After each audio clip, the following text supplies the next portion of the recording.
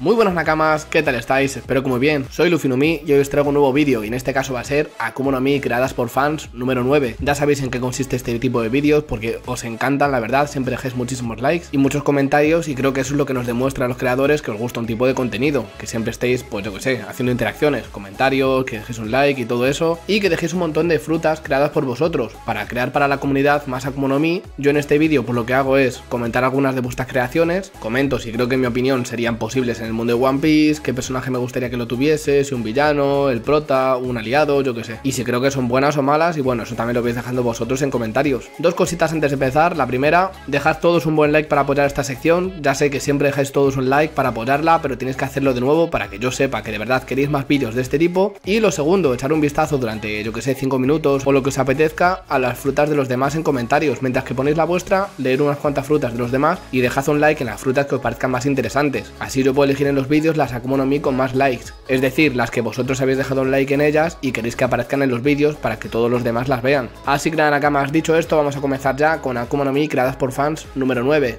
Pero antes un saludo para Marco Guti12 que fue el primero en comentar en mi anterior vídeo. Ya sabéis que hay muchísima competencia, que sois demasiado rápidos a la hora de comentar. He subido el vídeo y en un minuto ya hay 150 comentarios, así que ya sabéis intentar comentar los primeros y para eso lo mejor es estar suscrito y activar la campanita para llegar el primero y comentar. Y ahora sí que sí, comencemos.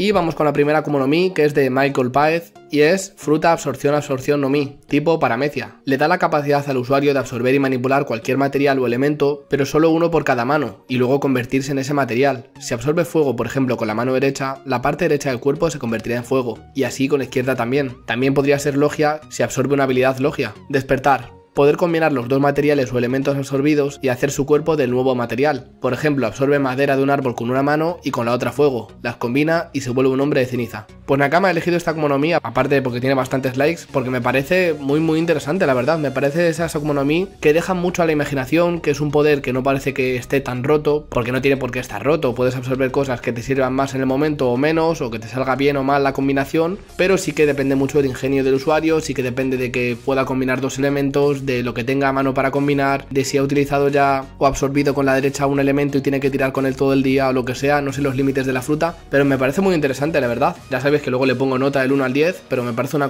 Mi muy muy interesante, no necesariamente rota, muy interesante eso de poder combinar materiales o elementos como el fuego, como has dicho tú, madera, imagino que también podrá coger metal o lo que sea. Y eso el despertar de combinarlos en su cuerpo mola mucho. A mí personalmente me ha recordado a Todoroki, mitad hielo, mitad fuego, pues que este hombre pues podría hacer lo mismo, ¿no? El usuario de esta fruta. Me ha gustado mucho esta fruta, Michael Paez, así que Muchísimas gracias por comentar. No sé la nota que te dejarán los nakamas en comentarios, pero a mí me ha encantado y le voy a poner un 9 sobre 10. Tal y como digo, me parece muy divertida la fruta, muy ingeniosa y no necesariamente rota, porque puedes absorber cosas que te sirvan en el momento de tu entorno y que luego no sirvan para tanto, pero quién sabe. De verla en One Piece lo veo difícil, pero bueno, una como no que como concepto me ha gustado mucho. Y nada, un saludo Michael Paez.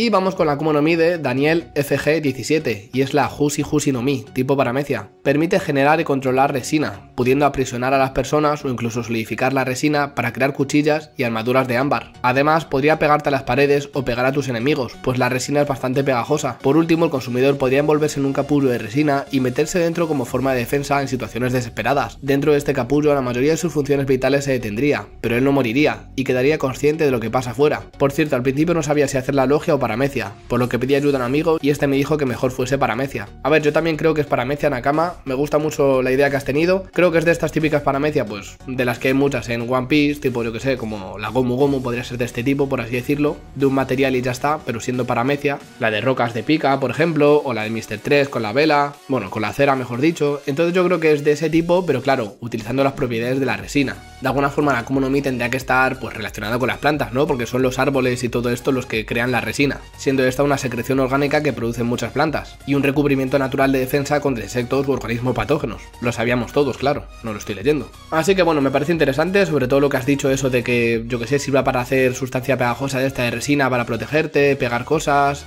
aprisionar a los enemigos con la resina, como por ejemplo un poquito como la Beta Beta no Mi o Beto Beto no Mi, no recuerdo el nombre ahora de, de Treble, pero vamos, me parece una Akuma no Mi que por poder podría aparecer en el mundo de One Piece, como otros muchos materiales que han aparecido y he nombrado antes. Lo de las cuchillas de resina o armaduras de ámbar así me choca un poco más. Creo que estaría más guay que se utilizase los materiales para pelear, pues eso, como Mr. 3, como Pika, como Luffy con sus materiales, sin necesidad de crear armas. Es mi opinión, a lo mejor a ti te gusta más así, obviamente, y por eso lo has escrito. Y bueno, lo que has dicho del sistema de defensa de imbuirse en resina y todo eso, formar un capullo, pues bueno, también está interesante y también suena creíble. Ya que como he leído de Wikipedia, pues esto sirve para protegerse de insectos y todo eso. Así que bueno, me gusta mucho el concepto, no tanto como el anterior, que sonaba más magnífico, pero este creo que es más posible en el mundo de One Piece, la verdad. Así que yo creo que lo voy a dejar en un 8 en la cama, un 8 sobre 10. Y nada, un saludo Daniel FG17 y muchas gracias por comentar.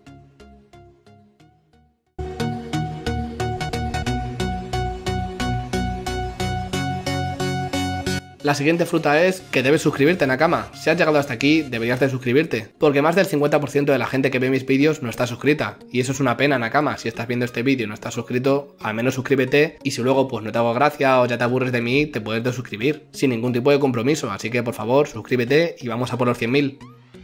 Vamos con Señor Espinaco, que ha dejado tres Akuma no Mi, y en este caso he elegido dos que más me han gustado de las tres. Para no abusar tampoco, he elegido las dos que más me han gustado, y la primera sería la Yushi Yushi no Mi. Significado, Yushi viene de la palabra Yushibunretsu, si no, que en español significa mitosis. Es tipo paramecia y el poder es, como he dicho, esta fruta se basa en la mitosis que algunos seres vivos unicelulares realizan. Para el que no sepa en qué consiste la mitosis, esta es la división celular propiamente dicha, cuando una célula madre produce dos células hijas, idénticas entre sí y con la misma información genética que la célula madre, pero en el proceso perdiendo cada una parte de su masa original. El usuario de esta fruta puede crear clones de su propio cuerpo por su propia voluntad, o verse forzado a crearlos al ser cortado, aunque sería inmune al corte. Estos clones serían proporcionales a la masa origen de donde provenga. Que te cortan un brazo, pierdes masa, peso y fuerza, pero de tu brazo se genera un clon tuyo con el tamaño, la masa, el peso y fuerza proporcionales que has perdido. Estos, llegado a cierto punto, tenderán a regruparse y fusionarse de nuevo para formar de nuevo a un único individuo. Debilidad. Generar más clones hace que estos sean proporcionalmente más pequeños y débiles que la anterior de donde provenían. Vencerlo solo requiere atacar con fuerza bruta a todos los clones a la vez lo suficientemente fuerte para ser derrotado. Eso me recuerda a Cell de Dragon Ball, o al monstruo Buu, claro.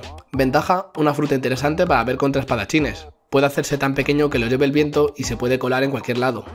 Esta fruta puede imaginarse como algo similar a los clones de Naruto, solo que cuanto más se divide, más pequeños. Eso te iba a decir, porque los de Naruto no se hacen más pequeños, claro. Despertar puede dividirse a nivel atómico, haciendo que el enemigo simplemente sean las propias partículas de materia que hay a su alrededor, haciendo casi imposible la tarea de derrotarlo. Me parece muy interesante, no sé si hacía falta relacionarlo tan estrechamente con la mitosis, o sea, está guay que lo expliques y que tenga un significado biológico y todo eso, lo, que hacen los organismos unicelulares y todo todo eso, está guay que lo expliques, en plan el tema de biología y todo eso, pero creo que a lo mejor no era necesario, que con decir que era como una baba o algo así, como el zack del LOL o algo de eso, como una sustancia como Flapper, ¿sabes? O como eso, simplemente con los ataques se va dividiendo y eso, creando clones, por así decirlo, de menor tamaño, pues con eso bastaba, pero bueno, tú has querido introducir el concepto de la mitosis. No pasa nada, lo único que por echar algo en cara, en One Piece tendría más sentido que el usuario se separe porque sí, porque ha recibido daño, más que por explicar la mitosis. O sea, tú lo has creado para que nos divirtamos todos, obviamente, pero para lo que sería en la serie Oda no creo que se pusiese a investigar o a introducir un tema así de complejo entre comillas, haría una comunidad mucho más simple, fuego, hielo, esto es goma, esto es piedra, esto es cera de vela. Entonces imagino que esto de la mitosis es, entre muchas comillas, complejo como para explicarlo como una fruta serie. Por eso te digo que a lo mejor sería más sencillo, sería más sencillo sintetizarlo en que cada vez que un usuario recibe un golpe, pues simplemente se separa y ya está, y se va haciendo más,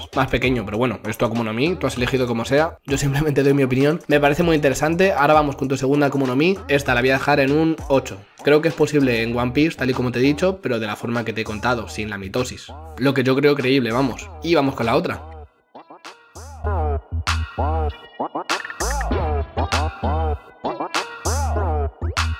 Que sería la Nezu Nezunomi, que viene de la palabra Nezumitori, que significa ratonera, tipo paramecia. Poder, como su nombre indica esta fruta, está basada en las trampas para ratones. Las trampas para ratones ofrecen un cebo apetitoso que los roedores quieren, normalmente queso u otro alimento, y cuanto más cerca están del queso que la trampa se activa dejando al iluso roedor atrapado en su codicia. Esta fruta permite a su usuario crear trampas basadas en ese concepto, creando un espacio similar a una room de lo. En esta el usuario puede crear alucinaciones jugando con la mente de aquel desafortunado que entre, indagando en sus gustos, sueños y ambiciones. Imagina crear una sexy espada china con carne entre los pechos. Me sé de tres que se quedarían al caer en la trampa e interactuar con estos seres imaginarios, así que harías atrapado en una bola de cristal muy duro. Debilidad, todo lo que ocurra dentro de la jaula es demasiado idílico. Todo tiene un aura de sueño perfecto. Si conoces la fruta es fácil evitar las alucinaciones con un poco de determinación. A veces la propia fruta puede jugarle malas pasadas al usuario, ya que si la usa en exceso se puede volver en su contra, entrando en locura. Ventaja es una fruta idónea para personajes débiles pero astutos, que sepan usarla para atrapar personas más poderosas que él. También puede esconderse dentro de sus alucinaciones como un elemento que pase por alto, un árbol, una piedra o cualquier alucinación que desee. Imagino que para defenderse, ¿no? Y para que no sea fácil salir de esa ilusión. Y despertar puede traer a la vida a un ser vivo que ya falleció. Esto obviamente dentro de su propia imaginación irreal. Imagina que aparece Quina o Ace hablando con Luffy o Zoro, pues en el sentido ese de engañarles, ¿no? De ratonera. Me parece muy interesante Nakama, me parece que el concepto está genial, eso de jugar con la mente y tal, tal y como has dicho tú, yo sí que la veo en un personaje que sea de los villanos, por así decirlo, pero en uno de la tripulación enemiga, que fuese más débil, pero como has dicho tú, más astuto, que le guste jugar con sus enemigos y tal, y que tenga que utilizar esto como recurso porque más débil. La veo muy guay, me imagino eso, gente cayendo en esa trampa, con ilusiones y tal, para poder ser atacados, personajes más fuertes cayendo en trampas, y que si alguna vez pues saben el truco, pues ya pueden salirse de esa alucinación, tal y como has dicho tú. Me gusta mucho esta Akuma no Mi, mm, creo que la voy a dejar en un 8 también, pero eso no quita que sea muy interesante en la cama y muchas gracias por escribir las Akuma no Mi. Un saludo.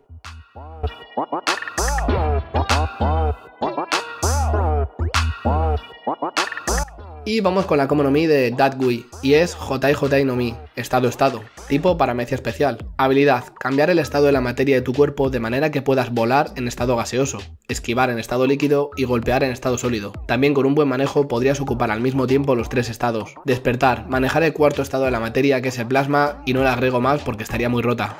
bueno, eso está bien admitirlo. Debilidades. Serían de acuerdo a la física, así que los combates podrían ser muy creativos. Por cierto, imaginen que un gigante la consuma y lo veamos como un humano del tamaño normal, pero alrededor de él siempre tenga gas que sea el resto de su cuerpo pero en otro estado. Si te digo la verdad, lo que más me ha gustado de la economía, aparte del concepto, es ese ejemplo que has puesto, eso del final del gigante que está escondiendo todo su cuerpo haciéndolo gas mientras él se ve pequeño y todo eso. Me ha molado mucho ese ejemplo tuyo. La economía me encanta, creo que podría ser bastante rota. Un concepto algo complejo, entre comillas, fácil de explicar en la serie, sería fácil de explicar en One Piece, pero algo complejo, entre comillas. No sé si se atreverían en One Piece a mostrar algo así, de venga, ahora va cambiando, fluyendo porque es líquido, ahora es gaseoso y se mueve más rápido y puede esquivar más. En estado sólido a lo mejor es más defensivo. No sé, todas las Akuma que tienen que ver con algo de la física y todo eso creo que son más complejas como para ponerlas en la serie. Sin embargo, eso no quita que sea muy creativa, a mí me ha molado mucho y creo que también lo vamos a dejar en un 8, pero me ha molado mucho y también tu ejemplo. Así que nada, un saludo, Guy.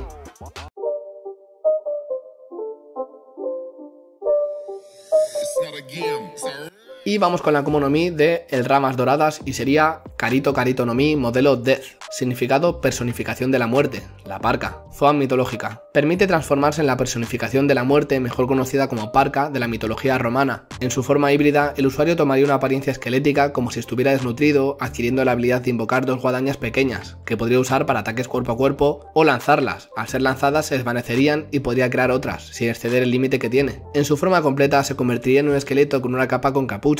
La guadaña que invoca se volvería más grande y tendría una aura de oscuridad, como la aura de la Yami Yami adquiriendo la capacidad de dañar el alma del enemigo con sus cortes, e incluso matándolo si se daña mucho su alma también. El usuario conseguiría inmortalidad mientras esté en esta fase. Debilidad, además de las debilidades comunes de las Akuma no Mi, como el Kairoseki y el agua, posee la debilidad de que el uso prolongado de la fase completa puede causar daños al usuario, e incluso si se usa por demasiado tiempo, causando la muerte al usuario. Bueno, una cama, una Akuma no Mi con un concepto bastante oscuro, la muerte, la parca y todo eso, una zona mitológica como tú dices que podría ser. Me mola muchísimo, a lo mejor puede ser una Ito Ito no Mi basándose en un humano, ¿no? En el ser humano, en el ser humano que sea la parca, pero no tiene por qué, no sé si la parca, no sé qué es, si es un muerto, no sé si es un hombre que murió y representa la muerte, bueno, realmente no sé lo que es, pero bueno, es una comunidad bastante oscura, entre comillas. Molaría que pelease con Brook, a ver qué pasa, a ver si es capaz de cortar su alma y matarle, tal y como dices tú, o como ya está muerto no puede matarle. Me mola mucho todo lo que has expresado de que sea inmortal durante esa fase, que aún así esa fase sea peligrosa si se utiliza prolongadamente, y bueno, una comunidad bastante ingeniosa que me ha gustado muchísimo. No sé si podría aparecer en One Piece, al ser un tema un poco oscuro, imagino que por poder podría ser. Con los protagonistas hay un esqueleto, así que no creo que una parca dé demasiado miedo a los japoneses y podría aparecer en One Piece. Lo vamos a dejar en un 8 y medio y me ha gustado bastante. Y nada, un saludo, ramas doradas.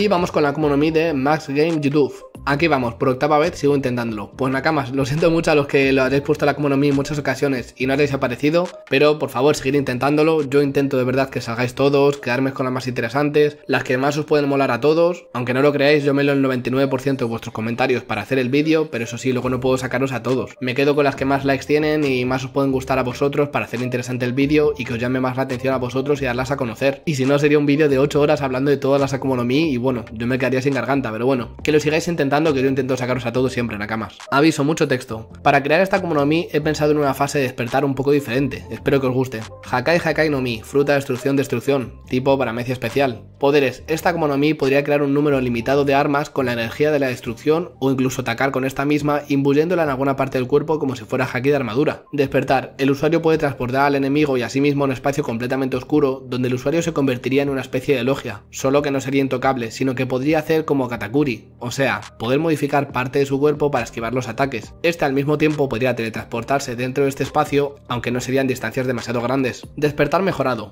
El usuario podría atacar a distancia creando una especie de bala con la que dañar a sus oponentes y destruir o hacer desaparecer todo lo que toque. Debilidad. Si el usuario se excede usando el poder de su Akuma no Mi y no lo controla, podría llegar a destruirse a sí mismo, de forma interna al no poder aguantar el poder que tiene. Con esto me refiero a que si usa el despertar o alguna faceta potente de su fruta durante un periodo de tiempo elevado, de 3 a 6 minutos, podría llegar a sufrir daños muy graves. Un saludo Luffy no Mi, me encantan tus vídeos. Pues muchas gracias Max Game YouTube por dejar tu Akuma no Mi, por insistir aunque sean 8 veces, por fin ha salido, lo siento si has tardado demasiado en salir. Y aquí la tenéis Nakamas, la fruta de la destrucción, Hakai Hakai no Mi, sería una paramecia especial, Tal y como dice en la cama, pues podría utilizarse como por ejemplo jaque armadura, con una energía que recorre tu cuerpo, como una armadura invisible también. Y lo único que te puedo echar en cara en la cama es que creo que es un poco compleja de explicar, creo que está guay, está muy interesante la economía obviamente, pero creo que es un poco compleja de entender, o tiene habilidades demasiado diferentes entre sí con lo que es el poder original, por así decirlo, el concepto original. Aún así, yo no soy nadie para criticarla, simplemente es mi opinión, me parece muy interesante y muchas gracias por salir en el vídeo. Y vamos con la última, un saludo más Game YouTube.